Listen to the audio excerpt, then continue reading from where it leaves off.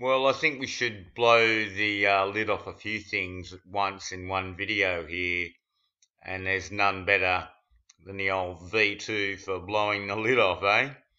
Now, Peenemünde, the pen, like the wind rune, number eight, like Or, Ormond, Jorgamund, the Ouroboros. So no prize for that name, and on to London to dominate London and thus the world with rocket, uh, fear, phobia, love, love or hate them. Some teenage uh, boys in the past used to collect them. Oh, it's a, it's, it's a wonderful psyop, the old rockets. And this little video is one of the most telling things. One of the most telling things I've ever watched for a short little video, I tell you. This little bit here this little bit here is, is a real corker. Look at this bit. Whee! Around and round we go. Yes, this is the prototype. But talk about uh, acting troupes and talk about the setting up of the Israeli state and Operation Paperclip for NASA and all stemming from uh, the so-called Nazis. Look at this picture of our Nazis here. Look at this little picture of them. What a nice little acting troupe. And there's something always very Khazar going on in, the, in this crew. Very indeed. The Disney idea. Look at this guy with the smoke. They're all doing the hand gestures. Duping delight. It's all in it. And here we go. There's all these little rocket. Uh, at first, there's all little ones that fail, right? Now that is always going to be the way. I've always got to show you a few failures. You watch this one here drastically fail. I jumped ahead and it. You just have to play it a bit watch it fail. Oh, it's got that little sign I see. That was part of it. Up she goes. Different ones uh, fail. Look, oh, they had a camera on it. How did they retrieve the footage?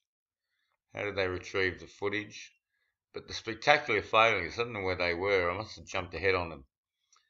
It's always the way. Have these failures, and then suddenly one goes up well, and everybody cheers and all that. It's in it all. You'll have to watch it yourself. Oh, it's just that one again. Hang on, I'll find this this really good one where it fails. Oh, I just had to show you this still of Nazis in a bus. And that looks like he went on to be uh, one of the boys at uh, either Tel Aviv or down there at Houston. Straight up, eh? And in the bus. We've seen that idea from uh, the old Hook, remember? Remember the yellow bus with the kids in it? The old Sandy Hook. I'll find that demolished rocket, and there's a few of them. But I've just got to show you this. Talk about the telephone, eh? This guy's sending the signal, the little bell on top of the phone, out in the woods here. And you won't see this guy standing around the base of the rocket. This this is the laugh of the century. Look at this. Look at this business. The man in the white coat fluttering, and he's checking out, making final things, and then we have the crew watching. And up we go. You know, some CGI here because it's all the way to London. They want you to believe this is how high it went, of course. But you never see that in the real rocket launches. Let me show you these uh, catastrophe ones. Oh, one last shot of the boys while we've got it here. Isn't that just like the canteen at NASA?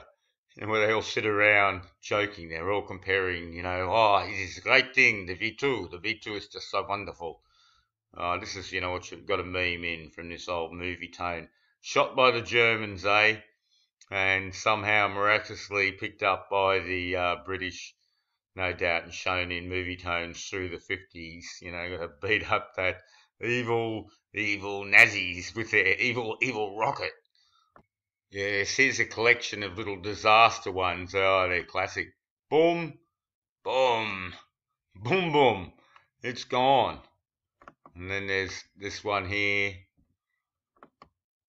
Boom, upside down. Whoa! Now, how would you be standing around it or anywhere near it when it launched when you'd seen that one, say? Oh, well this one explodes thing. Boom! Now, how does it do that? But look, a bit of it still seems to maintain to do that bit. Another explosion. And looks like the same trees that we saw in uh, some of the Nuco ones, blowing in the breeze. Oh, and see, look, oh, they were, they were all destroyed, and look, we're all checking out the debris, and there's the rocket. Looks something like from MH uh, 17 now, doesn't it? So we know the memes here. Can you see now?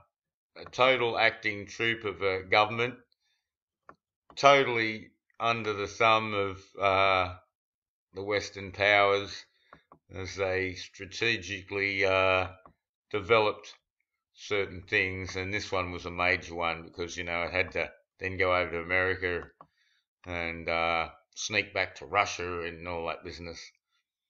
And now we have it, you know, going across here, and then we have the famous London scenes like this.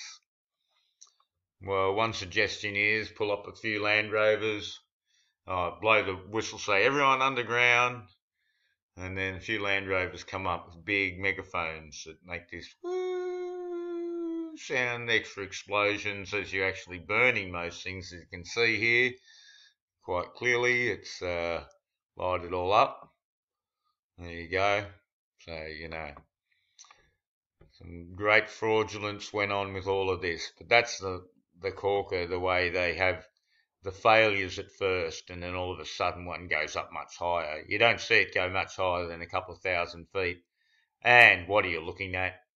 I mean, film was more sophisticated than we are led to believe, of course. They always keep the best stuff for the military, so it's very hard to separate.